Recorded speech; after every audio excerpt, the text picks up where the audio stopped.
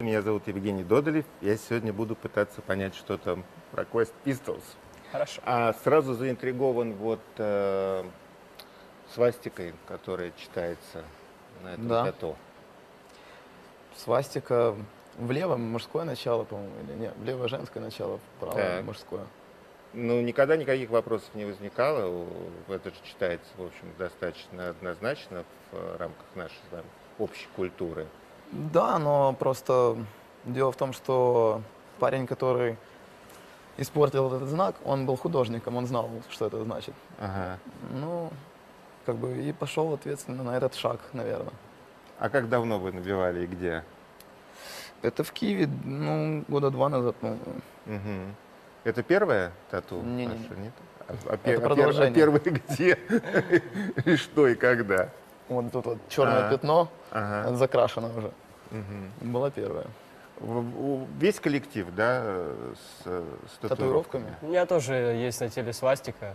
Ага. Вот, эм, это древний ведический символ, э, Мгм. который э, вмещает в себя понятие силы, а, лидерства, успеха, удачи.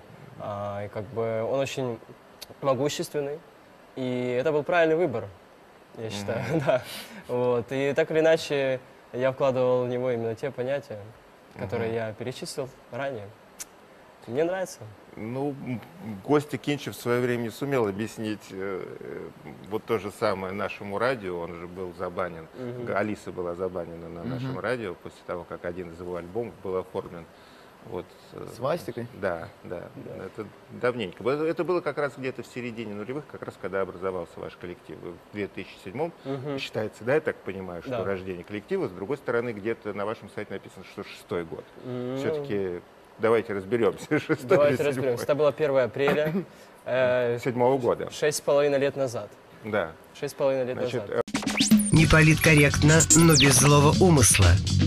Иронично, но без сарказма. Пристрастно, но по-честному. Правда 24 и Евгений Додолев.